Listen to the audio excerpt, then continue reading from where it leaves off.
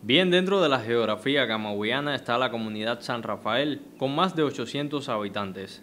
Junto a la localidad San Cristóbal forman la circunscripción número 51, perteneciente al Consejo Popular Senado. Este sitio fue escogido para el más reciente encuentro de trabajo comunitario Somos Continuidad. Declarada como una de las comunidades más vulnerables del municipio de Minas, San Rafael mostró ante las autoridades planteamientos de rápida solución y otros que dependen de una mayor cantidad de recursos. El asunto de las tendederas, el mejoramiento de los caminos y en las telecomunicaciones son algunos ejemplos.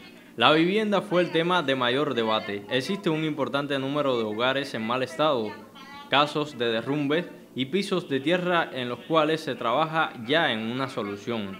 Las autoridades llamaron a un mayor apoyo por parte de las bases productivas en el asunto, sobre todo con el manejo de recursos.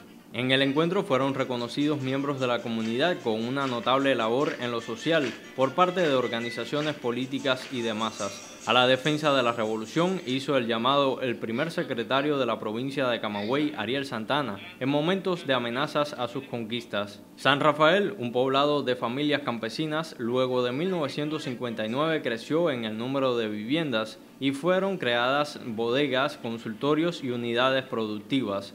Los retos actuales son mantener los logros y trabajar por más. El camarógrafo Javier Lacaba y Roberto Carlos Serrano para Televisión Camagüey.